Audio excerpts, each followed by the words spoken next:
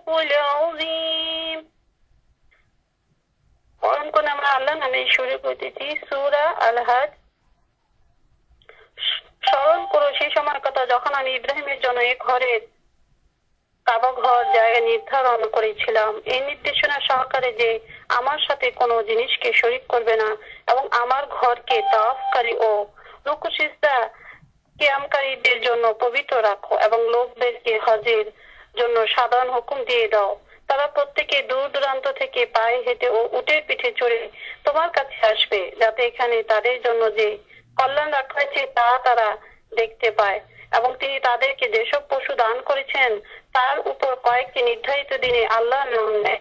নিজেরাও খাও এবং দুর্দশাগ্রস্ত দুর্দশাগ্রস্ত অভাবকেও খাওয়াও। তারপর নিজেদের ময়লা দূর করো, দূর করে নিজেদের মানত পূর্ণ করে এবং এই প্রাচীন গৃহে তফ তফ করে।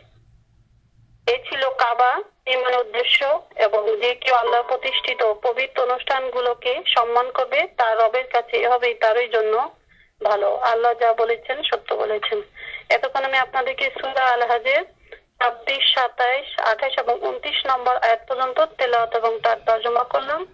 এখন আমাদের বোন সৌদের একটা মালিকা বেগম, উনি ওনার সংক্ষিপ্ত দাস পেশ করবেন। জাজাকাল্লাহ খায়রান। আলহামদুলিল্লাহ, আমরা বুনতা বাসমের কাছ থেকে তেলাওত তর্জমা শুনলাম। এই আয়াতের ভিতরে হজের নির্দেশ দেয়া হয়েছে। তো হজটা হলো ইসলামের পাঁচটি রুকনের মধ্যে অন্যতম গুরুত্বপূর্ণ একটি রুকন। কলেমা, নামাজ, রোজা, হজ জাকাত এই হলো ইসলামের পাঁচটি রুকন। এই পাঁচটি রুকনের উপর ইমান আনা প্রত্যেক মুসলমানের উপর ফরজ। একটা রুকনও যদি কেউ অবিশ্বাস করে এবং ইচ্ছাকৃতভাবে সে পালন করতে অস্বীকৃতি জানায়, তাইলে সে আর মুসলমান হিসাবে গণ্য থাকবে না। পাঁচটা রুকনের মধ্যে কলিমার মাধ্যমে আমরা ইসলামের ছায়াতলে প্রবেশ করি। আর যে চারটা নির্দেশ আল্লাহ তালা আমাদেরকে দিয়েছেন পালন করার জন্য, তার মধ্যে দুটি হলো ধনী, গরিব সবার জন্য। সে দুটি নামাজ এবং বৎসরে একবার, এক মাস রোজার ব্রত পালন করা। আর বাকি দুইটি ধনী মানুষের জন্য যাদের নেশাব পরিমাণ অর্থ সম্পদ রয়েছে, তারা বৎসরে হিসাব করে প্রতি বছর তারা সেই জাকাতটা আদায় করবেন, এটা তাদের উপর ফরজ। আর যাদের হজে যাওয়ার মতো শারীরিক অবস্থা এবং আর্থিক সঙ্গতি রয়েছে তাদের উপর জীবনে একবার হজ করা ফরজ।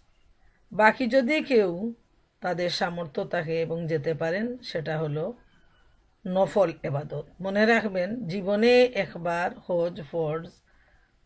বাকি হলো হজ এবং উমরা নফল। আর হজের গুরুত্ব এত বেশি যে নবী করিম সাল্লাহ ইসলাম এরশাদ করেছেন মাবরুর হজের প্রতিদান হচ্ছে একমাত্র জান্নাত সুবাহান আল্লাহ আর অন্য হাদিসে রয়েছে, রসুল করিম সাল্লাহ ইসলাম এরশাদ করেন, আরাফাতের দিনের চাইতে বেশি আর কোনো দিন আল্লাহ তার বান্দাকে দুজক হতে মুক্তি দেন না। প্রিয় বোনেরা আমার, আমরা জানতে পারলাম যে হজ সামর্থ্য থাকা সত্ত্বে যারা শারীরিক এবং আর্থিক সামর্থ্য থাকবে, তাদের উপর জীবনে একবার হজ ফরজ, বাকি হলো নফল। আর শুধু হজে গেলেই হবে না, মাবরুর হজ বা মকবুল হজ করতে হবে এবং সেজন্য জ্ঞান অর্জন প্রয়োজন। যারাই হজে যাবেন, তারা হজের ফরজ, ওয়াজিব, সুন্নত, নিয়মকানুন বিধিবিধান ভালোভাবে জেনে নিতে হবে। অনেকেই হজে যান, কিন্তু হজের নিয়মকানুন না জেনে অনেক সময় বিদাত অবস্থায়ও তারা অনেক কিছু তারা করে ফেলেন, যেটা করা উচিত নয় এবং যেটা করা উচিত তা থেকে তারা বঞ্চিত থাকেন।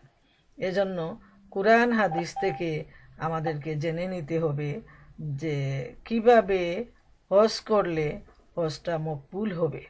বাদ বাকি আল্লাহ রবুল আলমিনের দরবারে সাহায্য চাইতে হবে। আল্লাহ সুবহানাউ তাআলা যেন যারা হজে যাবেন, তাদেরকে যেন মকবুল হজ করার তৌফিক দান করেন। প্রথমে আমরা জেনে নেই যে হজ ফরজ হওয়ার পাঁচটা শর্ত। যাদের উপর হজ ফরজ হবে, প্রথম হলো মুসলমান হওয়া। দুই নাম্বার, স্বাধীন ব্যক্তি হওয়া। কেউ যদি পরাধীন থাকে, তাইলে তার উপর হজ ফরজ নয়। যেমন মনে করেন বর্তমান সময়ে আমরা দেখি কত মানুষকে বিভিন্ন দেশের সরকার তারা জেলে পুরে রাখছে। এখন এদের যদি আর্থিক সঙ্গতিও থাকে, অনেক টাকা পয়সা হয়তো তার রয়েছে, শারীরিক সুস্থতাও রয়েছে, কিন্তু সে তো এই মুহূর্তে স্বাধীন না, অতএব তার উপর হজ ফরজ নয়। প্রাপ্তবয়স্ক হওয়া, অর্থাৎ এডাল্ট হওয়া, আর চার নাম্বার হলো শারীরিক আর আর্থিক সামর্থ্য থাকা, আর পাঁচ নাম্বার হলো সুস্থ মস্তিষ্ক থাকা। পাগলের উপর হজ ফরজ নয়। তার যদিও অনেক সম্পদের মালিকানা আছে, কিন্তু তার উপর হজ ফরজ নয়। তাইলে আমরা জানতে পারলাম, এই পাঁচটা শর্ত থাকলে একজন মানুষের উপর তখন হজ ফরজ হয়। দুই নাম্বার হলো হজ মকবুল হওয়ার শর্ত। প্রথম শর্তটাই হলো, ইখলাস, যে একনিষ্ঠতা। যে ইখলাসের কারণে আল্লাহ তালার সন্তুষ্টি অর্জনের জন্য হজ করতে হবে, এটাই হলো মূল শর্ত। এবং যখন থেকে নিয়ত করা হবে, তখন থেকেই এইটা মনে রাখতে হবে যে আমি আমার মহান মাবুদের সন্তুষ্টির জন্য আমি আল্লাহর গড়ে রওনা হচ্ছি। এবং যখন থেকে নিয়ত করবেন হজে যাওয়ার জন্য, তখন থেকেই তিনি মন মানসিকভাবে তিনি চিন্তা করবেন, তারপর হজের বিধিবিধান সম্পর্কে জানার চেষ্টা করবেন। কারও কাছে যদি লেনদেন থাকে, সেটা তিনি আদায় করে নেবেন। এইভাবে তিনি নিজেকে পবিত্র এবং পরিচ্ছন্ন করে তৈরি করবেন। দুই নাম্বার হলো, হালাল অর্থ দিয়ে হজ করতে হবে। কোনো অবস্থায় সুদ, ঘুষ অন্যের টাকা আত্মসাৎ করা। এইভাবে হারাম উপার্জন দিয়ে যত একবার কেন, হাজারবার যদি কেউ হজে যায়, তাইলে তার হজ কবুল হবে না। যেহেতু তার মূল জিনিসটাতেই রয়েছে গলত শর্ত হলো হালাল সম্পদ, হালাল অর্থ, হালাল টাকা পয়সা তিন নাম্বার হলো, সুন্নত মোতাবেক হজ করতে হবে। যেভাবে আল্লাহ রসুল সাল্লাহ ইসলাম হজ সম্পাদন করেছেন। তিনি বিদায় হজে যখন হজ করেন, তখন তিনি সাহাবায় কেরামদেরকে বলছেন যে, আমি যেভাবে হজ করব, আমাকে যেভাবে হজ করতে দেখবে, তোমরাও সেভাবে হজ করবে। অর্থাৎ সুন্নত মোতাবেক প্রতিটি কাজ সম্পাদন করতে হবে। নিজের ইচ্ছা মতো কোনো কিছু বাড়ানোও যাবে না, আর কোনো কিছু কমানোও যাবে না।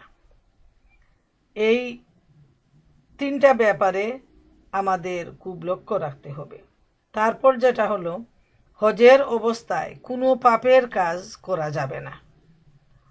এমনিতেও পাপের কাজ করা যাবে না, বিশেষ করে হজের এহরাম বাধা থেকে নিয়ে এহরাম কুলার পূর্ব পর্যন্ত যাবতীয় অন্যায়, ঝগড়াঝাটি, গালিগালাজ, এইসব কাজ থেকে মিথ্যা বলা নিজেকে সম্পূর্ণভাবে পরিহার করতে হবে। না হয় হজের বদলা যেমন জান্নাত, ঠিক তেমনি এত বড় একটা সবাবের কাজে কেউ যদি তার ভিতরে পাপ ঢুকায় দেয়, তাইলে হস্ত সম্পাদন হবেই না, বরং সে আরও বেশি গুণাগার হবে। কোনো অবস্থায় শরীয়তের বিধান লঙ্ঘন করা যাবে না। শরীয়তের যতগুলা বিধিবিধান রয়েছে, যাতায়াত থেকে শুরু করে নিয়ে গড়ে ফিরা পর্যন্ত অনেক ধরনের অনেক সুবিধা, অসুবিধা, অনেক কিছু আসবে। কিন্তু শরীয়তের বিধান অনুযায়ী পথ চলতে হবে। আরও একটি বিষয় মনে রাখা প্রয়োজন। এহরাম বাধা থেকে নিয়ে এহরাম খুলার আগ পর্যন্ত স্বামী স্ত্রীর মিলন জায়েজ নয়। এটাও মনে রাখতে হবে। যদিও এই অবস্থায় কোনো আল্লাহ রব্বুল আলমিনের কাছে সারাক্ষণ ধর্ণা দিতে হবে যে কীভাবে আল্লাহ সুবহানাহু তাআলা আমাদের হজকে কবুল করেন, সেই উদ্দেশ্য নিয়ে সারাক্ষণ চলাফেরা, ঘুম খাওয়া দাওয়া সব কিছুই সোয়াবের মধ্যে থাকবে। কিন্তু উদ্দেশ্য হতে হবে যে আমার আল্লাহ তালার সন্তুষ্টি এবং শরীয়তের বিধান লঙ্ঘন না করা। হজ তিন প্রকার, হজে তামাত্তু, হজে কেরান আর হজে এফরাদ তো সবাই, বিশেষ করে সবাই হজে তামাত্তু করে থাকেন, বেশিরভাগ লোকজন। হজে তামাত্তু হলো যে প্রথমে উমরার নিয়ত করে যাওয়া এবং উমরা সম্পাদনের পর হালাল হয়ে গেলেন আর যখন হজের সময় আসবে আট তারিখে, আবার এহরাম বেঁধে হজের কাজ শুরু করবেন। এটাই হলো তামাত্তু হজ। আর আল্লাহ রবুল আলমিন সুরা বাকারার একশো ছিয়ানব্বই নম্বর আয়াতে নির্দেশ দেন, ও আতিমুল হাজ্জা অল উমরাতা আল্লাহ সন্তুষ্টির জন্য হজ ও উমরা সম্পাদন করো। প্রিয় বোনেরা আমার তাইলে আমরা দেখতে পাই আল্লাহ সুবহানাহু তাআলা এখানে নির্দেশ দিচ্ছেন হজ আর উমরা সম্পাদন করার জন্য। উদ্দেশ্য হলো আল্লাহ সুবহানাহু তাআলার সন্তুষ্টি। তাইলে মনে রাখা প্রয়োজন যে অনেকেই হজে যান, যেমন যান, আবার ফিরে এসে সেই চরিত্র, সেই ব্যবহার, সেই চলাফেরা, সেই সুদ, ঘুষ, হারাম সবগুলার মধ্যে পুনরায় জড়িয়ে যান। মনে রাখতে হবে, মকবুল হজ যাদের হবে, ইনশাআল্লাহ এই সমস্ত পাপ কাজ থেকে মকবুল হজ তাদেরকে বিরত রাখবে, তাদেরকে আটকিয়ে রাখবে। তার এক্সাম্পল আমরা দেখেছি যে আমার খুব ঘনিষ্ঠ পরিচিত একটা ফ্যামিলি উনারা হজে যাওয়ার আগে দুনিয়ার দশজন মানুষের মতো ছিলেন। মনে করেন স্বামী, স্ত্রী দুইজন এক ফ্যাক্টরিতে কাজ করতেন, পর্দা, পুশিদা এগুলার কোনো দাঁড়ই দাঁড়তেন না। হঠাৎ আল্লাহ সুবাহানাহু তালা তাদের মনে যে তাদের হৃদয় খুলে দিলেন এবং তারা হজের নিয়ত করলেন। হজের নিয়ত করার পর থেকে তারা এমনভাবে নিজেকে পরিশুদ্ধ করতে শুরু করলেন যে হজ থেকে ফিরে এসে মহিলা পর্দা শুরু করে দিলেন তাদের সুদের বাড়ি ছিল, ওইটা তারা বিক্রি করে বাড়া বাড়িতে তারা উঠলেন। এরপর পুরাপুরি তারা স্বামী, স্ত্রী দুইজন মিলে স্বামীও দাড়ি রাখলেন, সুন্নতি দাড়ি, এবং দুইজন মিলেই তারা এত সুন্দর ইসলামী জীবনযাপন শুরু করলেন। আমি সব সময় তাদের এক্সাম্পল দিই যে এটাই হলো আসলে এই মকবুল হজের দৃষ্টান্ত। যে মানুষটাকে হজের আগে দেখেছি, একেবারেই সাধারণ একটা মানুষ। আর হজের পরে দেখলাম যে আসলে একজন মুমিনের চরিত্র তাদের মধ্যে ফুটে উঠেছে সুবাহান আল্লাহ তালা এইভাবে আমি একবার আটলান্টা সফরে যাই, সেখানে একটা বাড়িতে আমাদের প্রোগ্রাম ছিল, বিরাট বাড়ি, বেশ ধনী মানুষ। খুব সুন্দর একটা বাড়ি। তো আমি মহিলাকে বললাম যে, আপনার বাড়িটা ঘুরে দেখি। অনেক সুন্দর বাড়ি, নতুন বাড়ি, এত এত মানুষ, সবার জায়গা সংকুলান হয়েছে। তো উনি খুব আফসোস করে বলতেছে যে ওইটা তো আমার বাড়ি না, কি আর দেখাবো আপনাকে? ওইটা তো যখন বুঝি নাই, তখন সুদ দিয়েই বাড়িটা কিনেছি। কিন্তু এখন আল্লাহ তালা বুঝার তৌফিক দিয়েছেন, আমরা বাড়ি বিক্রি করব, আমাদের ব্যবসা বাণিজ্য সব গুটায়ে আমরা আল্লাহর গড়ে যাব, হজে যাব এবং আসার পর আমরা এইগুলো আর কিছুতে আমরা হাত দেব না। সুবাহান আল্লাহ তালা এই যে ত্যাগ, এর নামই হলো যে আত্মত্যাগ যেটা, আত্মসংশোধন যেটা নিজেকে পাপ থেকে বিরত রাখার জন্য যে সুযোগটা, আলহামদুলিল্লাহ, আল্লাহর গড়ের যে হজ, এটা হলো একটা উত্তম সুযোগ। যখন হজ যাত্রী হজে যাবেন, হজে যাওয়ার জন্য নিয়ত করবেন, তখন থেকেই তিনি নিজেকে পরিশুদ্ধ করার জন্য তিনি চেষ্টা করবেন এবং নিজের মধ্যে একটা পরিবর্তন আনার চেষ্টা করবেন যে আমি হয়তো আর জীবনে একবারই আমার হজে যাওয়া সম্ভব হয়তো আর কোনো দিন যাওয়া হবে না আল্লাহর গোড় জিয়ারত করা, আল্লাহর গোড় দেখা কিন্তু আমি যখন একটিবার যাব, যদি কিসমতে হয় তাইলে তো আরও অনেকই যাওয়া যাবে আর যদি হায়াতে না কুলায়, সময় সুযোগ না হয়, আর্থিক সঙ্গতি না থাকে, তাহলে তো একটিবারই আমি এখানে যাব তাইলে আমি আল্লাহ তালার কাছে এমনভাবে পরিশুদ্ধ হয়ে আসব। এমন কান্নাকাটি করব। এমন দোয়া করব আল্লাহর কাছে, নিজেকে সংশোধনের জন্য, পরিশুদ্ধির জন্য, যেন আমার এই দোয়া আমার কাকুতি মিনতি সাত আকাশের উপর চলে যায়। সুবাহান আল্লাহ এটাই হলো মকবুল হজ। যখন হজ মানুষের চরিত্রকে বদলাইয়া দিবে, তখনই বুঝতে পারবেন, আপনি নিজেই নিজেকে বুঝতে পারবেন যে আমার হজ কবুল হয়ে গেছে। সুবাহান আল্লাহ হজ হলো একটা বিশেষ সময়ে নির্দিষ্ট দিনে নির্দিষ্ট জায়গায় সম্পাদন করতে হয়। অন্যান্য সমস্ত এবাদত, দেখেন নামাজ, দৈনিক পাঁচবার যে কোনো জায়গায়, দুনিয়া, পৃথিবীর উপরে যে কোনো জায়গায় নামাজ পড়া যায়।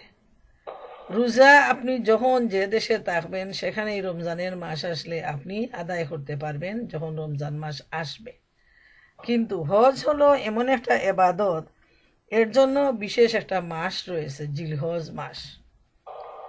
বিশেষ দিন রয়েছে, আট তারিখ থেকে নয় দশ, এই তিনটা দিনই হলো হজের মূল দিন। আট তারিখ বের হতে হয় মিনায়, তারপর নয় তারিখ আরাফাতে অবস্থান, আর দশ তারিখ মুজদালিফায় আসলেন, মুজদালিফা থেকে মিনায় আসলেন।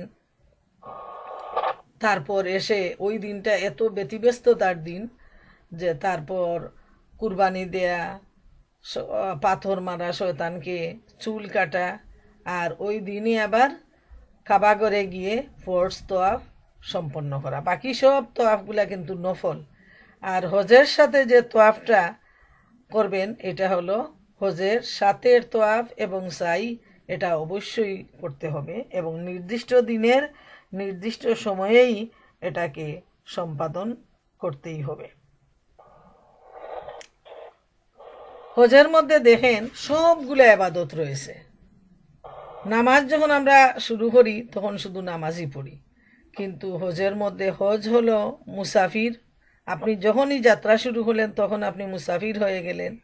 হাদিস শরীফে আসছে, নবী করিম সাল্লাহ ইসলাম বলছেন যে, মুসাফিরের দোয়া কবুল হয়। তিনজনের দোয়া কবুল হয়।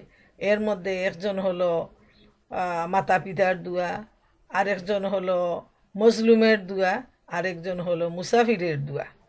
তাইলে আপনারা যারা ভাগ্যবান, আল্লাহর গোরের মেহমান যারা নিয়ত করেছেন টাকা পয়সা অলরেডি জমা দিয়ে দিছেন, তারা সবাই আল্লাহর গোরের মেহমান। আল্লাহ সুবহানাউতালা আপনাদের কিসমতে নসিব হয়েছে, আপনাদেরকে তার গড়ে ইনভাইট করেছেন, দাওয়াত দিয়েছেন, আহ্বান করেছেন। এখন দেখেন, যখনই আপনি নিয়ত করলেন এই থেকেই যে চিন্তা ভাবনা করলেন, এই থেকেই আপনার সব শুরু হয়ে গেল। আপনি যখন মুসাফির অবস্থায় দোয়া করবেন, আল্লাহর কাছে আপনার দোয়াটা হবে গ্রহণযোগ্য। হজের মধ্যে রয়েছে নামাজ, হজের মধ্যে রয়েছে কুরবানি, হজের মধ্যে রয়েছে তোয়াফ, হজের মধ্যে রয়েছে সাই, সবগুলাই হজের মধ্যে সংমিশ্রণ রয়েছে। এবং এমন কিছু জায়গা রয়েছে হজের মধ্যে যে জায়গাগুলো আর কোনো দিন হজ ছাড়া আর কোনো সময় এই জায়গায় গিয়ে দোয়া করার কোনো সুযোগ হয় না। যেমন যখন মিনায় অবস্থান করবেন, সেখানে দোয়া কবুলের জায়গা, সেখানে দোয়া কবুল হয়। বিশেষ করে আরাফাতের ময়দান। আরাফাত শব্দের অর্থ হলো মিলন কেন্দ্র। আমাদের পিতা হজরত আদম আলাহ ইসলাম এবং মাতা হাওয়া আলাহ ইসলামকে আল্লাহ সুবহানাহু তাআলা যখন বেহেস থেকে বের করে পৃথিবীতে পাঠিয়ে দেন, তখন তারা আল্লাহ রব্বুল আলমিনের দরবারে তওবা করতে থাকেন। এবং যখন দুইজনই পৃথিবীর দুই প্রান্ত থেকে এসে আরাফার ময়দানে তাদের সাক্ষাৎ হয়, এখানেই দোয়া কবুল হয়। আর এই সাক্ষাৎ হওয়ার জন্যই এই জায়গাটার নাম হলো আরাফাত। বা মিলন কেন্দ্র। এবং যেহেতু এটা দোয়া কবুলের জায়গা, আমাদের মা বাবার দোয়া এখানে কবুল হয়েছে, উনারা যে দোয়াটা করেছেন, রাব্বানা জালামনা আনফুসানা ও ইল্লাম তাকফির লানা ও তার হামনা লানা কুনান্না মিনাল খাসিরিন। এত সুন্দর দোয়া। সুবাহান আল্লাহ আপনারাও যাদের যাওয়ার সৌভাগ্য হবে সেখানে, আপনারা সেখানে গিয়ে বারবার আমাদের পিতামাতাকে স্মরণ করে এই দুয়াটা করবেন। যেহেতু তারা এই দুয়াটাই করেছিলেন এবং এই দুয়া কবুলের মাধ্যমে আল্লাহ তালা তাদের ভুল ত্রুটি মাফ করে দিয়েছেন এবং আদম আলাহ ইসলামের সম্মান আরও অনেক গুণ বৃদ্ধি করে দিয়ে আল্লাহ তালা তাকে নবুয়তের দায়িত্ব দিয়েছেন। সুবাহান আল্লাহ তোবা তো কবুল করেছেন এবং আল্লাহ তালা এতটুকু সন্তুষ্ট হয়েছেন তাদের তোবায় যে এর বিনিময়ে তোবা কবুল করলেন এবং সম্মান বৃদ্ধি করে তাকে নবুয়তের দায়িত্ব দিলেন। এরপর হলো মুজদালিফা।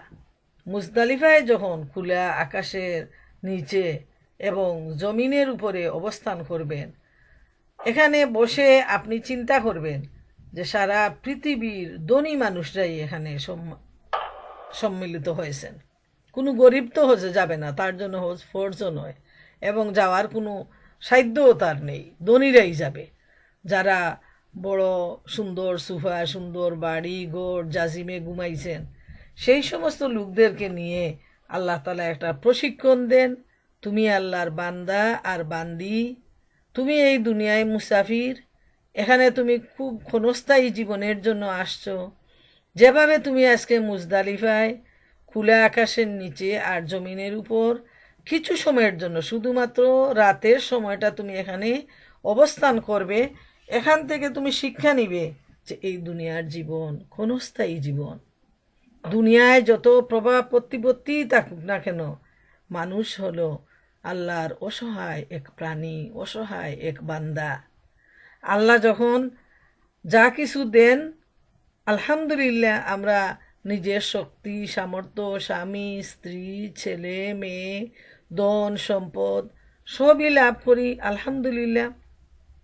আবার আল্লাহ সুবহানাহুতালা যখন আমাদের শক্তি সামর্থ্য ছিনিয়ে নেন, আমাদের থেকে আমাদের মা বাবা ছিনিয়ে নেন, কারও স্বামী নিয়ে যান, কারও সন্তান নিয়ে যান, কারও সম্পদ নিয়ে যান, আলহামদুলিল্লাহ।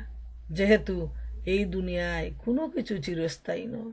প্রিয় বোনেরা আমার, মনে রাখা প্রয়োজন, যেমন আমরা মুসাফির এই দুনিয়ায় আমাদের সমস্ত সম্পত্তি, সমস্ত শক্তি, সমস্ত ক্ষমতা, সমস্ত আত্মীয় স্বজন, সন্তান সব কিছু হলো অস্থায়ী। আর মুজদালিফায় অবস্থান করে এই স্মৃতিটুকু যেন সবাই মনে রাখেন, বিশেষ করে যারা সেখানে অবস্থান করবেন, তাদের উদ্দেশ্যে বলতেছি যে ওই সময় অনেক টায়ার্ড হয়ে যাবেন, ক্ষুধার্ত হবেন, ঘুম আসবে কিন্তু যে অবস্থায় থাকেন, পেরেশান না হয়ে শুধু এই কথাটা মনে রাখবেন যে, আল্লাহ, আমি তো অসহায়। তোমার এক গুলাম, তোমার এক বান্দি।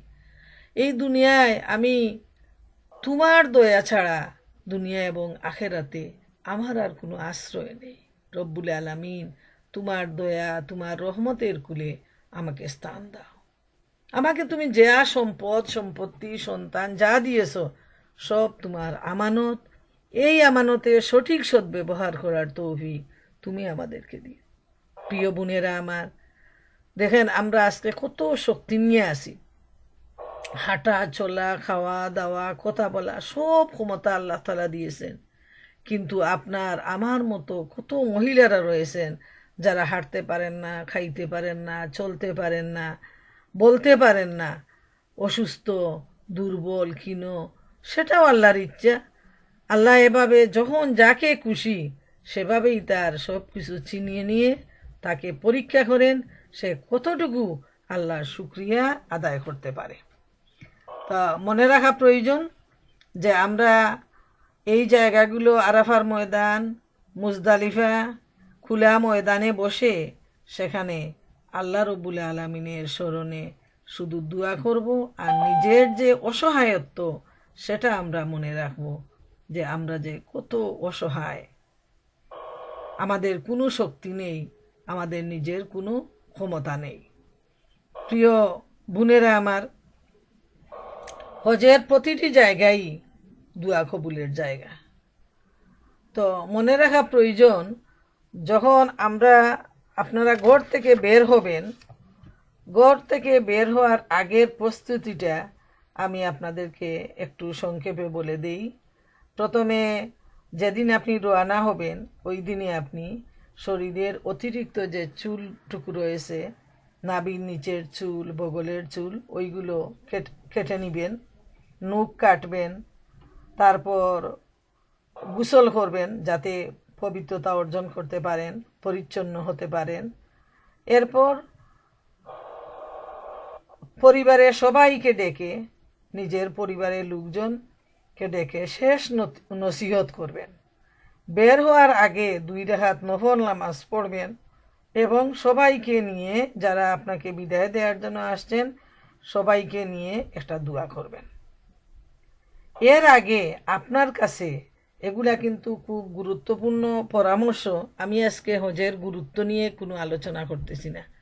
সেটা আলাদা একটা সাবজেক্ট ঘণ্টা দুই ঘণ্টা বলতে হবে। আজকে শুধু হজের আহ, নিয়ম নীতি বিধান এবং প্রয়োজনীয় কিছু পরামর্শ নিয়ে আমি কথা বলতেছি। হজে যাওয়ার আগে যখন আপনি নিয়ত করলেন এর থেকে আপনার যাদের সাথে লেনদেন রয়েছে ঋণ রয়েছে এইগুলা পরিশোধ করার চেষ্টা আপনি করবেন। যেহেতু মনে রাখা প্রয়োজন একবার একজন সাহাবি মারা যান তখন আল্লাহ রসুল সাল্লাহ ইসলামকে জানাজা করার জন্য ডাকা হয়। তিনি এসে জিজ্ঞেস করলেন, এই ব্যক্তির কি কোনো ঋণ রয়েছে? যখন শুনলেন এই ব্যক্তি ঋণগ্রস্ত, তখন তিনি সরে গেলেন এবং সাহাবাদেরকে বললেন, তার জানাজাটা তোমরা করে নাও। চিন্তা করে দেখেন, ঋণ কত বড় বিষয়। আল্লাহ তালার প্রতি কাছে আমরা যে সমস্ত গুণা করি তবার মাধ্যমে আল্লাহ সুবহানাহু তাআলা মাফ করে দিবেন। কিন্তু মানুষের কাছে যদি কোনো ঋণ থাকে, মানুষ যদি সেটা মাফ না করে আর নিজে যদি সেটা পরিশোধ করা না হয়, তাইলে কিন্তু আল্লাহ তালা সেটা মাফ করে দিবেন না। এজন্য যাদের ঋণ রয়েছে, বিশেষ করে মহিলাদের তো আর এত লেনদেন থাকে না, স্বামীদের, স্বামীদেরকে বাঁচানোর জন্য তাদেরকে বলবেন যে যা, ঋণগুলা পরিশোধ করার জন্য। আর এই অবস্থায় যদি সম্ভব না হয় তাহলে নিজের সন্তান অথবা বাইয়ের কাছে সেটা লিখে দিয়ে যে আমি যদি ফেরত না আসি, তাহলে আমার এই অংশ থেকে এই ঋণগুলা যেন পরিশোধ করা হয়। তারপর আপনার যদি সহায় সম্পদ থাকে, আপনি কিছু ওসিয়ত করেও যাবেন। যদি ফিরে না আসেন, তাহলে যেন আপনার ওই সম্পদ নিয়ে ছেলে, মেয়ে আত্মীয় স্বজনের মধ্যে কোনো ঝগড়া ফসাদ অশান্তি শুরু না হয়। ওসিয়তের ব্যাপারে মহাগ্রন্থ আল কুরআনে সুরা বাকারায় আল্লাহ সুবহানাহু তাআলা খুব গুরুত্বপূর্ণভাবে তাগিদ দিয়েছেন যে মৃত্যুর আগে যেন সবাই ওসিয়ত করে যায়। আর হজ এমন একটা এবাদত আমার ব্যক্তিগত অভিজ্ঞতা থেকে আমি আপনাদেরকে বলব যে যখন আমি হজে যাই, হজের নিয়ত করার পর থেকেই শুধু এই ব্যাপারে পড়াশোনা মানসিকভাবে, শারীরিকভাবে প্রস্তুতি নেয়া এবং লেনদেন চুকিয়ে নেয়া, সবার কাছে মাফ চাওয়া। যেহেতু আমার কাছে বিভিন্নভাবে বিভিন্ন দায়িত্ব ছিল, সংগঠনের অনেকের জমা টাকা পয়সা ছিল, যদিও কোনো ঋণ ছিল না আলহামদুলিল্লাহ জীবনে। তো বিভিন্ন মানুষের অনেক জমা, অনেক কিছু থাকতো। আমি যাওয়ার আগে সবাইকে সব কিছু বুঝে শুনে দিয়ে, আমার স্বামী, উনি উকিল মানুষ, উনার ফাইল পত্র সব কিছু বুঝাই দিয়ে, যে এমন পরিচ্ছন্ন হওয়া, এর মতো সুযোগ মানে জীবিত থাকা অবস্থায় আর দ্বিতীয় কোনো চান্স নাই যে মানুষের কাছ থেকে এসব কিছু বুঝে নেওয়ার মতো সুযোগ আর পাবেন না। যেহেতু আমরা যখন একসাথে হই, আবার যখন বিদায় নেই, আমরা বলি যে মাফ করে দিয়েন কারও কাছে। কিন্তু একজন সুস্থ মানুষ যখন এইভাবে বলে, তখন বাকিরা তাকে অন্তর থেকে আর মাফ করে না। ওটা হাসে দিয়ে উড়াই দেয় যে, না, আপনি আরও বাঁচেন, আপনি বাঁচার জন্য দোয়া করতেছি। কিন্তু মুমিনের নিয়ম হলো, আমরা প্রতিদিন প্রত্যেকটা সময় যেন আমরা মাফ চেয়ে নেই। যেহেতু যাদের সাথে আমরা মেলামেশা করি, হাসির চলে, ঠাট্টার চলে, কাজে ও কাজে আমরা অনেক কথা বলে ফেলি। আর এর ভিতরে হয়তো অনেককে দুঃখ দেয়া হয়, অনেকের অধিকার নষ্ট করা হয়।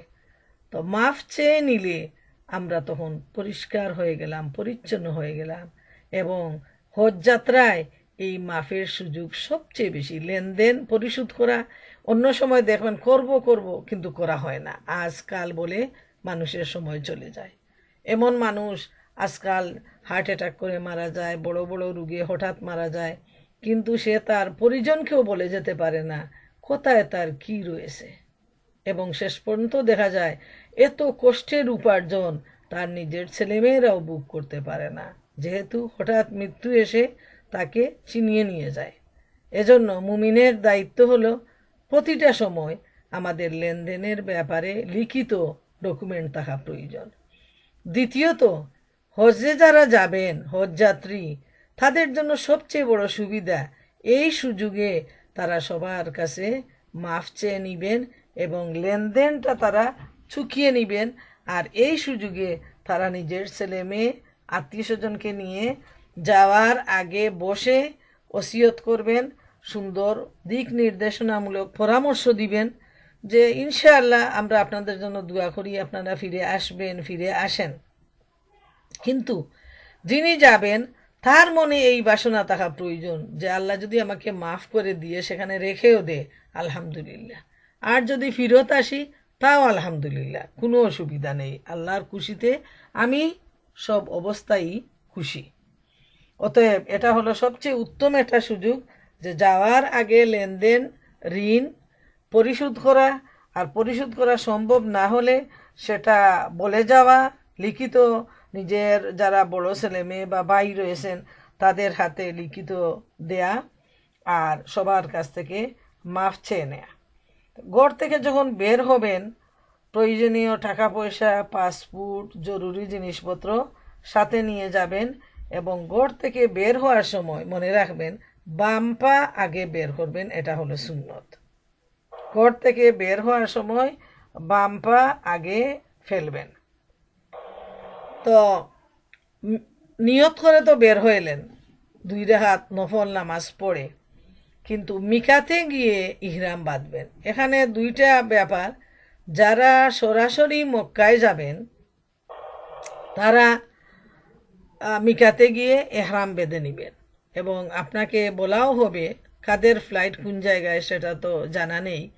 কিন্তু ডাইরেক্ট যারা আমেরিকা থেকে যাবেন কেউ নিউ ইয়র্ক থেকে, কেউ শিকাগো থেকে বা যে কোনো স্টেট থেকে হয়তো কুয়েতে এয়ারলাইন্সে হইলে কুয়েতে কাতার বা এই ধরনের যে জায়গায় নিবে, সেখান থেকে যখন উঠাবে, তখন অজু করে দুই রেহাত নফল নামাজ পড়ে, এহরাম বেঁধে দুই রেহাত নফল নামাজ পড়লেন। পুরুষদের এহরাম, সেলাইবিহীন দুইটা সাদা কাপড়। আর মহিলাদের এহরাম, যে কোনো রং পরিধান করতে পারবেন তবে উজ্জ্বল্য না থাকাটাই বেস্ট। আর এহরামটা হলো সতর ডাকা মহিলাদের এহরাম। মুখমণ্ডল বের, বাইরে থাকবে, মুখমণ্ডল ডাকবেন না। বাদ বাকি শরীরের পুরা অঙ্গ ডুলাডালা পোশাক পরে ডেকে নিবেন। এটাই হলো এহরাম। এবং এহরামের নিয়ত করে দুই রেখাত নফল নামাজ পড়বেন। এহরামের নিয়ত করার পর আপনার কাছে যেগুলো নিষিদ্ধ, সেটা হলো কোনো ধরনের শিকার করা হারাম। যে কোনো ধরনের শিকার করা যাবে না। দুই নম্বর হলো, কোনো কিছু হত্যা করা যাবে না, মারা যাবে না। এমনকি নিজের মাথার উকুন ও না, একটা পিঁপড়াও মারতে পারবেন না মশা মাছিও মারতে পারবেন না। এমনকি নিজের শরীরের লুম, চুলও উঠানো যাবে না ইচ্ছাকৃতভাবে। ভালোভাবে মনে রাখবেন যে কোনো অবস্থায় নিজের শরীরের চুল, লুম এমনভাবে চুলকাবেন না যে উঠে আসে। আর সুগন্ধি ব্যবহার করবেন না। সুগন্ধি ছাড়া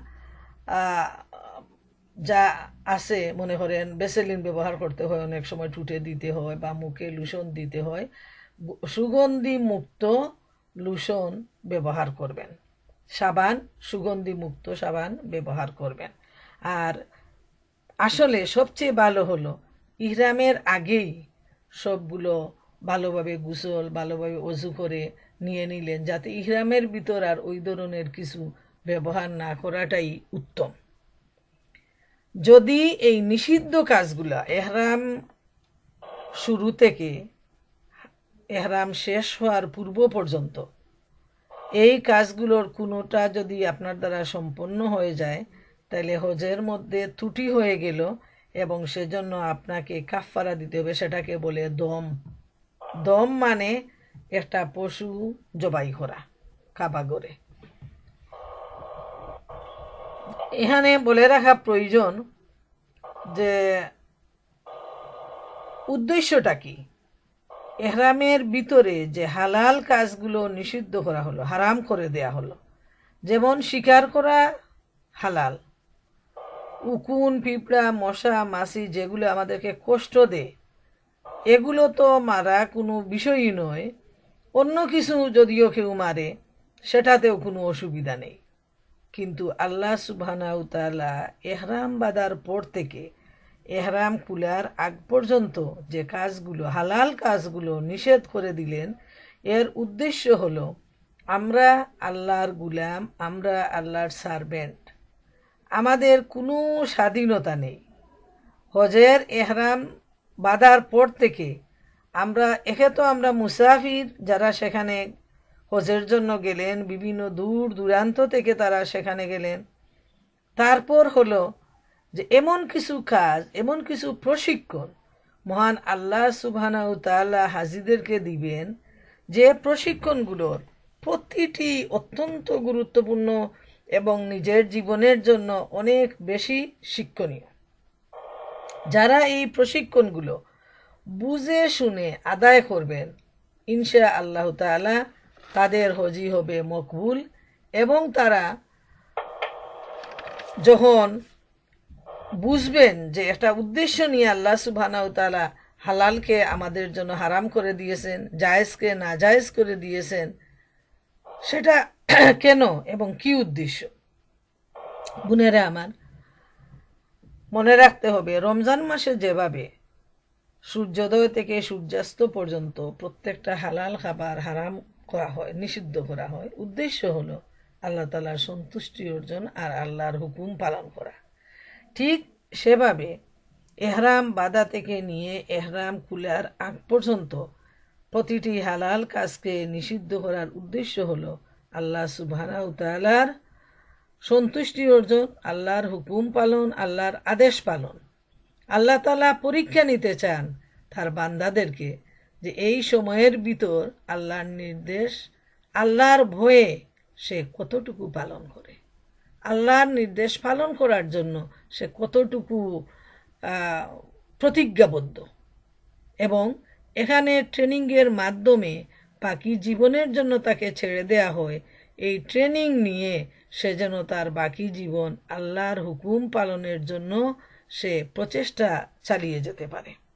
আর এহরাম বাঁধার পর থেকে এহরাম কুলার আগ পর্যন্ত স্বামী, স্ত্রীর মিলন ও নিষিদ্ধ।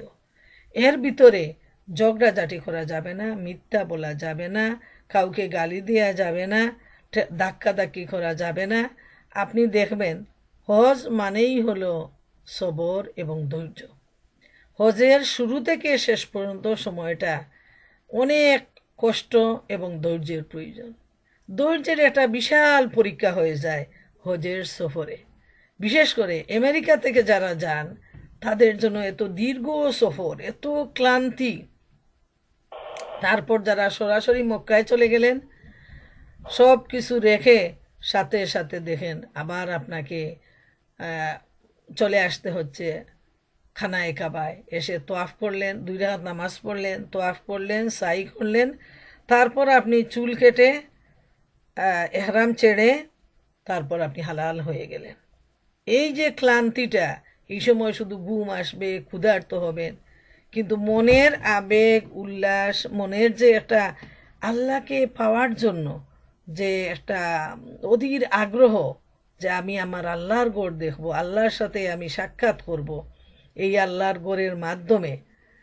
এই আগ্রহটুকু, এই ইমানটুকু মানুষের শক্তি বাড়িয়ে দেয়। যারা অসুস্থ, তারাও দেখবেন দেশের বাড়িতে যখন যখন আমরা নিজের বাড়িতে থাকি, তখন আমরা নানাভাবে বসে শুয়ে রেস্ট নিয়ে আমরা চলাফেরা করি। কিন্তু হজে যাওয়ার পর এই ধরনের ইচ্ছা মতো রেস্ট নেওয়ার কোনো সুযোগ থাকে না। অনবরত একটার পর একটা কাজ। আট তারিখ থেকে তেরো তারিখ পর্যন্ত যে সময়টা, একটার পর একটা, একটার পর একটা কাজ আপনাকে করে যেতে হচ্ছে। এই সময়ে দেখবেন সারা দুনিয়ার মানুষ যারা হজে আসছেন, বিরাট সম্মেলন। মুসলমানদের সবচেয়ে বড় গ্যাদারিং আর সমাবেশ হলো হজ। এই যে মিলন কেন্দ্র, এত ভালো লাগে। কত ধরনের মানুষ, কত রঙের মানুষ, কত মেজাজের মানুষ কত ভাষার মানুষ সেখানে একত্রিত হন। কিন্তু এর মধ্যে অনিচ্ছাকৃতভাবে অনেক ধাক্কাধাক্কি হয়ে যায়। অনেক কষ্ট হয়, অনেক ভিড়ের মধ্যে নিজেকে সামলায় নিতে হয়। কিন্তু এই সময় দেখবেন অনেক রাগ আসে, এমন একটা পরিস্থিতি সৃষ্টি হবে যে আপনার রাগ উঠে যাবে যে আমাকে, আমি হয়তো, আপনি হয়তো আপনার স্বামীর হাতে ধরা আছেন এই সময় একজন এমনভাবে আপনার মাঝখান দিয়ে চলে গেল, খেয়ালই করল না। দুইজনকে বিচ্ছিন্ন করে দিল। স্বাভাবিকভাবে রাগ আসে, কিন্তু আপনি যখন মনকে পূর্ব থেকেই ঠিক করে নিলেন যে না, কোনো রাগ করা যাবে না। রাগ হলো শয়তানের কাজ। আর এহরাম বাঁধার পর যদি আমি রাগ করি, তাইলে আমার হজের মধ্যে একটা ভুল আসবে। আমার হজটা পরিপূর্ণভাবে শুদ্ধ হবে না। রাগ আসলেই মনের ভিতরে আরও নানা ধরনের শয়তান উস্কানি দিবে। অতএব এ সময় আমি সবরের মতো সবর করব। যেটা তো স্বাভাবিক। এত মানুষের ভিড়, ওই ভিড়ে তো এ ধরনের একটা হওয়া স্বাভাবিক। এভাবে আপনি মেনে নিলেন। আপনি যখন তোয়াফে যাবেন, দেখবেন এত ধাক্কা ধাক্কি, আপনার কাপড় সুপড় নিয়ে টানাটানি শুরু হয়েছে এই ধরনের অনিচ্ছাকৃত একটা ভিড় শুরু হয়। এবং ধাক্কা ধাক্কি শুরু হয়। সে সময়েও আমি বোনদের উদ্দেশ্যে বলতেছি, আপনারা গুল যে স্কার্ফটা, ওইটা পরবেন। যে তিনকুনা স্কার্ফ পিন আপ করা, ওইটা পরবেন না। এহরাম বাঁধবেন আপনারা সুতির, গুল, বড় উড়না দিয়ে, সেলাই করা উড়না দিয়ে এবং টাইট করে প্রথমে চুল বাঁধবেন। যখন এহরামের আগে আপনি গুসল সারলেন, আপনি নিজেকে তৈরি করবেন তখন আপনি কি করবেন? খুব ভালোভাবে চুলটা বেঁধে নিবেন, যাতে এই দুই তিন দিনের ভিতরে আপনার চুল আর হাত দিতে না হয় আর আপনার চুল আপনাকে কোনো ডিস্টার্ব না করে। যেহেতু এহরামের সময় চুলটা বাইরে আসবে না, পর্দার খেলাফ হয়ে যাবে।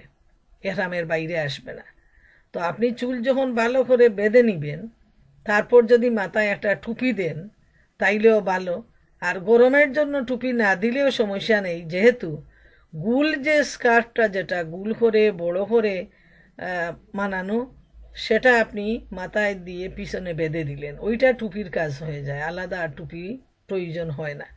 যেহেতু আমরা মহিলারা সবার একটু গরম বেশি, শরীরে জ্বালা যন্ত্রণা বেশি, প্রেশার আছে, তো সুতির বড় গুল উড়না নিয়ে পিছনে বেঁধে দিলে, আলহামদুলিল্লাহ, আপনার জন্য সেটা অত্যন্ত সহজ এবং আরামদায়ক হয়ে যাবে।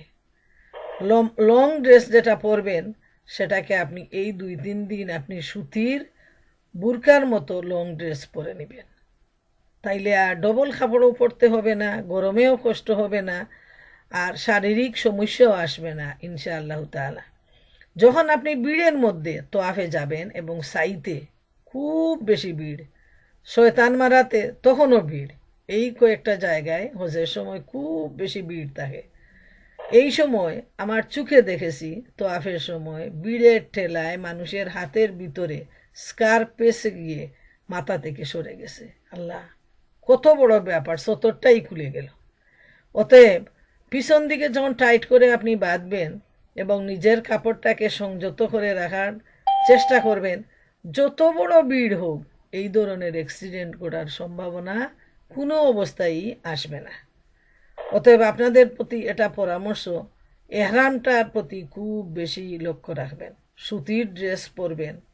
আর এই যে ভিড়ের সময় মনে করেন মিনায় গেলেন, থাকলেন, তারপর আরাফাতে গেলেন, ওই যাওয়া, আসার সময় গাড়ির যে এত বেশি ভিড় যে গাড়িটা সামনে আগায় না। ওই সময় সব সময় সাথে পানি রাখবেন। যে কোনো ধরনের ড্রিঙ্কস রাখবেন, ঠান্ডা পানি রাখবেন আপনাদের সাথে করে। আর অতিরিক্ত কোনো বুঝা হাতে নিবেন না, এটা আপনাদের জন্য কষ্ট হবে। খুব প্রয়োজনীয় জিনিসপত্র আপনাদের সাথে রাখবেন। এরপর যখন আরাফাতে অবস্থান করবেন, মনে রাখবেন পুরো সময়টাকে যেন কাজে লাগাতে পারেন। শরীরটাকে সুস্থ রাখার চেষ্টা করবেন। এজন্য আমি বারবার বলতেছি, পোশাকের দিকে দৃষ্টি রাখবেন আর খাওয়া দাওয়ার দিকে দৃষ্টি রাখবেন। ভালো খাবার যেটা স্বাস্থ্যকর, পেট ক্ষুধা নিবৃত্ত হয়, আবার স্বাস্থ্য ভালো থাকে, এমন খাবার খাবেন। জমজমের পানি বেশি করে খাবেন, পানি বেশি করে খাবেন, তবে খুব ঠান্ডা পানীয় পান করবেন না। ওই সময় মানুষ গরমের জ্বালায় অতিরিক্ত ঠান্ডা খেয়ে একদম কাশি হয়ে যায়, গলাটা বসে যায়, এ থেকে সর্দি জ্বর হয়ে যায়। তো যদি খেয়াল রাখেন নিজের স্বাস্থ্যের প্রতি এবং এই স্বাস্থ্য বিধিবিধানগুলো মেনে চলেন, ইনশাআল্লাহ সুস্থ থাকবেন এবং আল্লাহ সুবহানাহু তাআলার ইবাদত খুব বেশিভাবে করতে পারবেন, এতে সন্দেহ নাই। এরপর গেল আরাফার ময়দান। আরাফার ময়দানে তো বেশি বেশি করে দোয়া করবেন এবং প্রতিটা জায়গায় দোয়া কবুলের জায়গা সব সময় আল্লাহ সুবহানাহু তাআলা আ- আপনার ডাক শোনার জন্য তিনি অপেক্ষমান থাকেন তবা কবুলের জন্য আল্লাহ সুবহানাহু তাআলা তবার দরজা উন্মুক্ত রাখেন এবং এই সময় যে একবারই হয়তো অনেকে জীবনে চান্স পায় আরাফার ময়দানে। তো মনে রাখবেন, হয়তো এই জায়গায় অন্য সময় গেলে এর কোনো মর্যাদা থাকবে না। হজের বাইরে যখন উমরায় যাবেন, তখন কিন্তু আরাফার এই দিনের যে মর্যাদা, হজের দিনের যে আরাফার মর্যাদা, ওইটা সারা বছরের আর কোনো দিন পাওয়া যাবে না। ভিজিটের জন্য সবাই যায়, জায়গাটা দেখে আসে। কিন্তু এই আরাফার দিনটাই হলো হজের দিনটা। ওই দিন দুয়া কবুল হয় কোনো ধরনের কথাবার্তা, কোনো ধরনের টেলিফোন, কারও খোঁজখবর নেওয়ার কোনো প্রয়োজন নাই। যখন আপনি বের হবেন বাড়ি থেকে, আল্লাহর উপর ছেড়ে দিয়ে যাবেন। আর আল্লাহ সবার খোঁজখবর নেবেন, আপনার খোঁজখবর নেওয়ার দায়িত্ব মহান আল্লাহ রবুল্লা আলমিনের। একনিষ্ঠভাবে আল্লাহর এবাদতে মশগুল থাকবেন। যখন হজ শেষ হবে, যারা মদিনায় যাবেন হজের আগে অথবা হজের পরে, মনে রাখবেন, মদিনায় যাওয়া, রোজা জিয়ারত করা শুধু আল্লাহ রসুল সাল্লাহ ইসলামের মোহব্বতের জন্য। এখানে হজের কোনো অংশ নয়। এটা সবার মনে রাখা প্রয়োজন যে মদি, রোজা জিয়ারত আল্লাহ রসুলের মোহব্বতের জন্য এটা হজের কোনো পার্ট নয়। যখন রোজা জিয়ারতে যাবেন তখন সাদা কার্পেট রয়েছে। নির্দিষ্ট সময়ে যারা প্রথম যাবেন, তারা তাদের জানা নেই যে নির্দিষ্ট তিনটা সময়ে মহিলাদের জন্য রোজার দরজা খুলে দেয়া হয়। বাকি সময়টা পুরুষের জন্য থাকে। ফজরের নামাজের পর একবার খুলে দেয়া হয়, জুহরের নামাজের পর আর এশার নামাজের পর। তো ওই সময় দীর্ঘক্ষণ বসে সবাই অপেক্ষা করেন আপনি প্রয়োজনে ফজরের পর ঘরে আসেন, নাস্তা করেন, তারপর আপনি যান, কোনো অসুবিধা নেই। এই দীর্ঘক্ষণ অপেক্ষায় অনেক কষ্ট হয়ে যায় বরং সাত, আটটার দিকে তারা খুলে। অতএব এই সময়ের ভিতরে আপনি এসে নাস্তা করে আবার নতুন এনার্জি নিয়ে আবার আপনি সেখানে গিয়ে অনেকক্ষণ আপনি বসে নামাজ পড়তে পারেন, রোজার দিকে তাকিয়ে বসতে পারেন, আল্লাহ রসুলের জীবন নিয়ে ওই দিকে তাকিয়ে তাকিয়ে চিন্তা করতে পারেন। এবং সাদা কার্পেটে বসে দুই রাকাত নামাজ পড়া সুন্নত, এটাকে জান্নাতের টুকরা বলা হয়।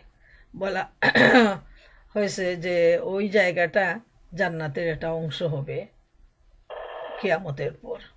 তো ওই জায়গায় দুই রেহাত নামাজ পড়বেন। বেশি, খুব বেশি ধাক্কা ধাক্কি হয়, এই সময় আর বেশি পড়ার চেষ্টা করবেন না। আর একটু দেরিতে যদি যান তখন যারা বেশি আবেগী প্রথমে ধাক্কা ধাক্কি করে ভিতরে ঢুকে, ওরা আবার বেরিয়ে আসে। এবং দেরিতে গেলে তখন একটু হালকা পেয়ে যাবেন। এই সময় হয়তো আপনি দুই, চার, ছয়, অনেক বেশি করেও আপনি পড়তে পারেন। তবে ধাক্কা ধাক্কি করে বেশি পড়ার প্রয়োজন নাই, ওইটাও সুন্নতের খেলাফ। তবে মনে রাখবেন, তিনটা সময় রোজার দরজা খোলা হয়, ফজরের পর, জুহরের পর, এশার নামাজের পর। আমি প্রায় সময় খাওয়া দাওয়া করে আস্তে ধীরে গিয়ে দেখি যে হালকা হয়ে গেছে। তখন আফসুস মতো সেখানে বসে নামাজ পড়লেন বসে রোজার দিকে তাকালেন, চিন্তা করলেন বিভিন্ন বিষয় নিয়ে, কান্নাকাটি করলেন যে এই জায়গা আজকে সোনার মদিনা, সোনায় তৈরি হয়ে গেছে। অথচ খেজুরের চাল দিয়ে সেখানে আল্লাহ রসুল সাল্লাহ আলাই ইসলাম একটা ঝুপড়ির মধ্যে বসবাস করতেন। এবং এই মসজিদে নবীও ছিল একটা ঝুপড়ির মতো। আর আজকে আল্লাহ রসুলের উম্মতগণরা তাদের হাতে সম্পদ আসছে এবং এত সুন্দর করে তারা সেটাকে সাজিয়ে রেখেছেন। এই জায়গাটা হলো দুয়া কবুলের জায়গা। আর আরও কিছু পরামর্শ হলো যে, ভালো ভালো খাবার খাওয়ার চেষ্টা করবেন যেগুলোর মধ্যে মানে অতিরিক্ত তেলে ভাজা, মশলাযুক্ত খাবার, বিশেষ করে ইন্ডিয়ান, বাঙালি খাবারগুলো অ্যাভয়েড করার চেষ্টা করবেন। ওইগুলো আবার বাইরের হোটেলে খুব বেশি তেল মশলা দেয়। আর মরুভূমির গরম দেশে এই খাবারগুলো খুব সহজেই আমাশয় পেটের অসুখ, ডায়রিয়া ওইগুলার সৃষ্টি করে। তো হোটেলে যে খাবারটা দেওয়া হয়, এটা হলো সবচেয়ে উত্তম, স্বাস্থ্যসম্মত এবং বাদ বাকি কিনে যে খাবারটা খাবেন, সেটাও আপনি খুব বেশি খেয়াল রাখবেন যাতে ঝাল মশলা না হয় এ ধরনের খাবারের প্রতি দৃষ্টি রাখবেন। হজের আগে খুব বেশি দৌড়াদৌড়ি করবেন না। ওই সময় পাঁচ ওয়াক্ত নামাজ পড়বেন, নফল এবাদত করবেন এবং নিজের স্বাস্থ্যের প্রতি খুব যত্ন রাখবেন যে পুরা এনার্জিটা যেন হজের সময় আপনি ব্যয় করতে পারেন আর আল্লাহর এবাদত বন্দিগি করতে পারেন সে সময়টা। অসুস্থ হয়ে গেলে কিন্তু অনেক ফোর্স এবাদতও সম্ভব হবে না। আর শপিংয়ের ব্যাপারটা অনেকে আবার মানে সেখানে এমন ভাবে শপিং মল সাজানো, ডানে বামে চতুর্দিকে যাওয়ার পর থেকেই শপিং করা শুরু করেন। শপিং করাটা হারাম নয়, করতে পারেন। ব্যবসা করাটাও আল্লাহ হালাল করে দিয়েছেন সেখানে গিয়ে হজের পর। কিন্তু হজের পর যদি আপনি হাত দেন, তখন একটা শান্তি পাবেন এবং আপনার এনার্জিটা তখন থাকবে আপনার হাতে। আর এর আগে দৌড়াদৌড়ি, কেনাকাটা নিয়ে ব্যস্ত হয়ে গেলে তখন এনার্জি পাবেন না। তাই এই দিকে খুব বেশি খেয়াল রাখবেন। যাওয়ার আগে আপনার প্রয়োজনীয় ঔষধপত্র আপনি সাথে সাথে নিয়ে যাবেন। যাদের নিয়মিত ঔষধ লাগে তারা তো নিবেনই। আবার এই সাথে কিছু কফের ঔষধ, তারপর পেটের অসুখের ঔষধ, ওইগুলো হয়ই বেশিরভাগ মানুষের পেটের অসুখ হয়ে যায়। যেহেতু ওয়েদারটাও বিপরীত, খাবার দাবার গরম বেশি, সবগুলা। তো সাথে প্রয়োজনীয় ঔষধপত্র অবশ্যই নিয়ে যাবেন এবং ঔষধ তার অন টাইম আপনি খাবেন। কোনো অবস্থায় আমি আপনাদেরকে বলে দিচ্ছি, আমার জানা মতে আমাদের একজন দিনী বোন, উনি যখন সেখানে গেলেন মানে এত আবেগপ্রবণ হয়ে গেলেন, শুধু নামাজ, তেলাওয়াত তসবি তোয়াফ নিয়ে ব্যস্ত হয়ে, উনি বলতেন, আল্লাহর করে আছি, ঔষধের প্রয়োজন নাই। বলে উনি অসুস্থ মানুষ, উনার প্রেশারের ঔষধের প্রয়োজন, ডায়াবেটিসের ঔষধের প্রয়োজন, সব ছেড়ে দিয়ে ওইখানেই তিনি মক্কায় অবস্থানকালীন তার স্ট্রোক হয়ে গেল। এবং অনেক কষ্টে তিনি আসলেন, আর এভাবেই পরবর্তী দিন তিনি দুই তিন বছর বোধহয় জীবিত ছিলেন, তারপর তিনি মারা গেলেন। বোনেরা আমার, কখনো আবেগপ্রবণ হবেন না। প্রয়োজনীয় ঔষধ সাথে নেবেন এবং আপনার হাতের ব্যাগের ভিতরে রাখবেন এবং অন টাইম আপনি আপনার ঔষধটা খাওয়ার আপনি চেষ্টা করবেন। আচ্ছা একটা হাদিস যে বাইহাকি থেকে আবু মামা রাদি আল্লাহ তালাহু বর্ণনা করেছেন যে, কারও সামর্থ্য থাকা সত্ত্বেও সে যদি আল্লাহর গোরের হজ না করে, তবে সে ইহুদি হয়ে মরুক বা নাসারা হয়ে মরুক, তাতে আমার কিছু আসে যায় না। আল্লাহ রসুল সাল্লাহ ইসলাম বলেছেন যে যাদের সামর্থ্য থাকবে, অথচ তারা হজ করবে না, ইচ্ছাকৃতভাবে তাদের প্রতি আল্লাহ রসুল খুব নারাজ হয়েছেন। আর সবচেয়ে খুশির খবর হলো যে মকবুল হজের বিনিময় জান্নাত। আর অন্য হাদিসে আল্লাহ রসুল সাল্লাহ ইসলাম বলছেন, আরাফাতের দিনের চাইতে বেশি আর কোনো দিন আল্লাহ বান্দাকে দুজক হতে মুক্তি দেন না। এ দিনটা হলো দুজক থেকে মুক্তি লাভের দিন। অতএব যখনই আপনি আল্লাহর কাছে আরাফাতের দিনটা বেশি বেশি করে দোয়া করবেন দুজক থেকে মুক্তি লাভের জন্য। তারপর আরেকটা পরামর্শ হলো যে যখন সাই করবেন, তখন শুধু দৌড়ার উদ্দেশ্যে দৌড়াবেন না, বরং এই সময়টা খুব ভালোভাবে মনে রাখবেন যে মা হাজরা কোন উদ্দেশ্যে এখানে দৌড়াইছেন। এবং এত ভাগ্যবতী মহিলা, আল্লাহর এত প্রিয় বান্দি তিনি যে তিনি যখন ইব্রাহিম আলাহ ইসলাম শিশু সন্তান সহ তাকে ফেলে আসেন, তিনি কোনো কমপ্লেন করেননি স্বামীর কাছে। শুধু জিজ্ঞেস করেছিলেন, আল্লাহর হুকুমে কিনা ইব্রাহিম আলাহ ইসলাম মাথা নাড়া দিয়ে সম্মতি দিলেন যে, আমি যা করেছি আল্লাহর হুকুমে। এবং যখন কোনো খাবার ছিল না, মায়ের দুধ শুকিয়ে রক্ত চলে আসছে, এ সময় মা অস্থির হয়ে গেলেন, বাচ্চাকে কীভাবে বাঁচাবেন? তাই বাচ্চাকে বর্তমান জমজমকূপ যেখানে, সেটা এখন ওয়াল পরিবেষ্টিত, সেটা দেখা সম্ভব নয়, আমরা দেখেছি। তো ওই কূপের পাশে বাচ্চাকে শুয়ায়ে তিনি সাফায় চলে আসলেন। সাফা থেকে মারোয়া মারোয়া থেকে সাফা, তিনি পেরেশান হয়ে দৌড়াতে থাকলেন যে এই পাহাড়ের উপর উঠে তিনি বাইরের দিকে তাকালেন যে কোথাও কোনো কাফেলা দেখা যায় কিনা। যাদের কাছ থেকে তিনি একটু পানি চেয়ে নিবেন তার বাচ্চার জন্য। এই পেরেশানি নিয়ে তিনি যখন সাতবার চক্কর দিয়ে ফিরে গেলেন যে বাচ্চাটা আদৌ জীবিত আছে কিনা। ফিরে গিয়ে দেখেন, সেখানে বাচ্চার পায়ের কাছে একটা কূপ যার নাম দেয়া হয়েছে জমজম। আল্লাহ রব্বুল আলমিন এত সন্তুষ্ট হয়েছেন বিবি হাজরার এই সবরের জন্য। সবরের ফল হিসাবে তিনি জিব্রাইল আমিনকে পাঠিয়ে সেখানে একটি জমজম কূপ তৈরি করে দিলেন। সুবাহান আল্লাহ হাজারা খুশি হয়ে গেলেন, মহাপ্রভুর দরবারে শুক্রিয়া আদায় করলেন, নিজে পানি পান করলেন, বাচ্চাকে পানি পান করালেন এবং চতুর্দিকে বাদ দিয়ে দিলেন। এবং সেজন্য না হয় সেটা নদী হয়ে যেত এই পানি প্রবাহিত হয়ে। বাদ দিয়ে দিলেন কিয়ামত পর্যন্ত দুনিয়ার সমস্ত মুসলমানরা সেখানে হজ করতে যায়, হজ জমজমের পানি পান করে এবং তুফপা হিসাবে তার বন্ধু বান্ধব ফ্যামিলির জন্য সেটা নিয়ে আসে দেশে ফিরার সময়। প্রিয় বোনেরা আমার, আমি অনেকক্ষণ আপনাদের সামনে হজের বিধান নিয়ে আলোচনা করলাম। আরও কত গুরুত্বপূর্ণ অনেক কিছুই বাকি রয়ে গেছে। হজের যে কত গুরুত্ব, তো মূল বিষয়টা হজের কীভাবে করবেন, কীভাবে হারাম বাঁধবেন, কোন জিনিসগুলা নিষিদ্ধ, সেগুলা পরিহার করে চলবেন এবং কোনো অবস্থায় রাগ করবেন না, ঝগড়া ফসাদ করবেন না। আমার সামনে কত মানুষকে আমি ঝগড়া করতে দেখেছি, ধাক্কা ধাক্কি করতে দেখেছি। ওইগুলো হারাম ওইগুলো হারাম মনে রাখবেন। তাই সর্বদা সব সময় সবর করবেন, কষ্ট হইলেও ধৈর্য ধরবেন আল্লাহর সন্তুষ্টির উদ্দেশ্যে, আল্লাহর কাছ থেকে মাফ পাওয়ার উদ্দেশ্যে এবং পুরো সময়কে কাজে লাগাবেন। এবাদত, বন্দেগি, নফল নামাজ, তেলাওয়াত, তসবি আর আমাদের সবার জন্য দোয়া করবেন। এই আবেদন জানিয়ে আপনাদের সবার কাছে এই রিকোয়েস্ট করে আজকের মতো এই প্রোগ্রাম শেষ করলাম। যদি কোনো প্রশ্ন থাকে, আমাদের এই প্রশ্ন উত্তর পর্বে আপনারা করতে পারেন।